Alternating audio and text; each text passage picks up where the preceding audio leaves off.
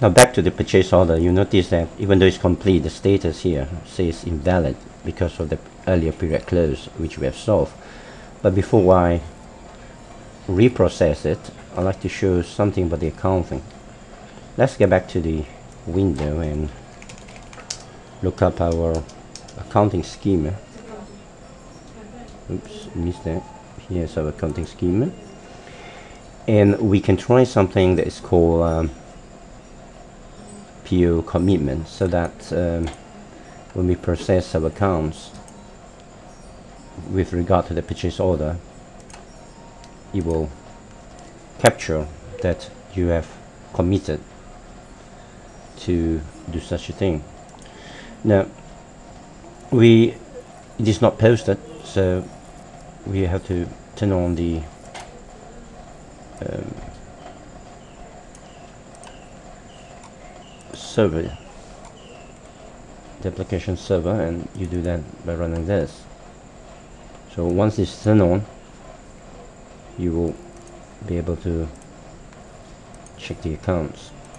Meanwhile what the server is going on this is the account viewer that you can interrogate all the accounting facts that will be posted once you after processing all those documents and as you can see we can view actual posting but in the purchase order case we want to view the commitment accounts. Let's see if the application processor is on. It's not on yet. So you will not be able to post just yet the accounts because the application service not found and it's still here. You probably have to wait a bit longer for that. And so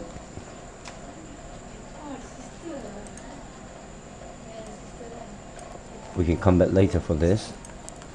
And um,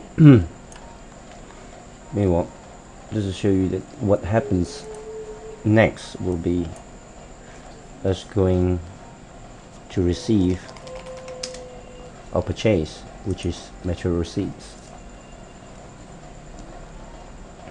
now in material receipt you automatically keep track of what you have ordered.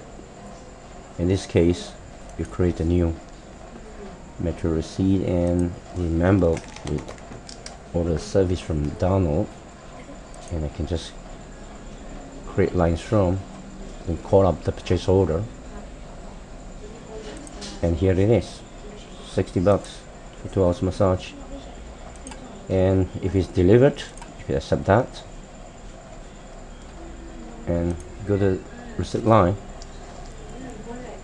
Now if there's an argument that you actually only receive one, you can just put one here. And the system will remember that the monsieur is still monsieur called Donald supposed to deliver one more hour. And then you can complete this. So okay we'll go ahead and complete this.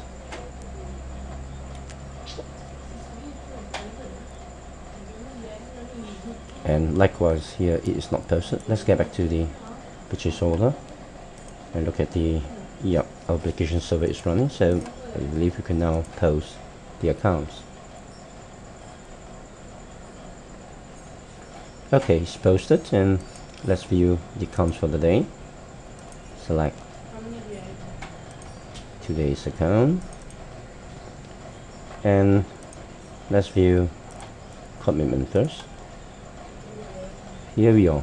With a product expense under PO commitment. And if we were to view actual accounts we might just see that we have received only half of that under here